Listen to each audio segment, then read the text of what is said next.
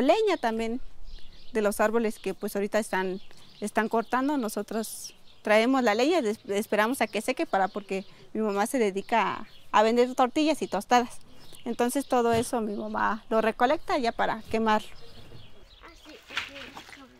Mi mamá temprano hacía tortillas y ya en las tardes iba a trabajar y nosotros nos encargamos de, escogerlo y sí, sí, era un ingreso que pues nos, nos hacía, nos ayudaba mucho. Y ahorita con, pues con el fallecimiento de mi papá, entonces sí como que ahorita no estamos tan bien económicamente. Pues allá está nuestra olla solar, ahorita pusimos unas, unas papas.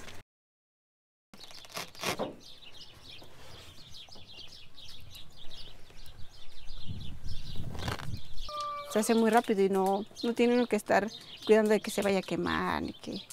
Entonces aquí me, me gusta cocinar mucho y sí es mucho el, el ahorro que, porque para cocinar uno, una olla de frijol son como unos 5 a 6 pedazos de leña y cada pedazo está en 5 a 6 pesos.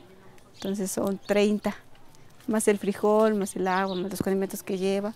Entonces aquí no, pues nada más es el frijol que se pone, el agua y listo y estamos muy este, emocionadas porque nada más ponemos nuestras comidas en, en, la, en las ollas, nos ponemos a hacer otras cosas cuando ya a la hora de la comida ya venimos y nada más a quitarlo y a servir.